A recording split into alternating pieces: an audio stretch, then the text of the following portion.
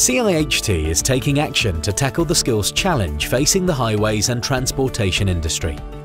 Attracting, recruiting and retaining staff from diverse backgrounds is one way businesses can respond. Our research shows that more than 90% of management roles are made up of white men. Ethnic minorities make up less than 10% of the workforce and fewer than 1 in 10 board members are female.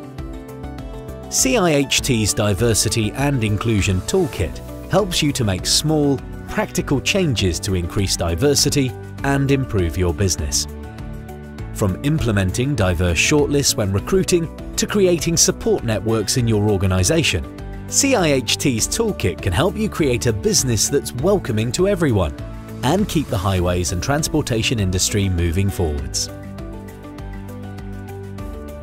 People with a range of backgrounds and experiences help create a wider talent pool, more creativity and innovation, better financial performance, increased employee engagement and a better corporate reputation. To find out more, visit ciht.org.uk.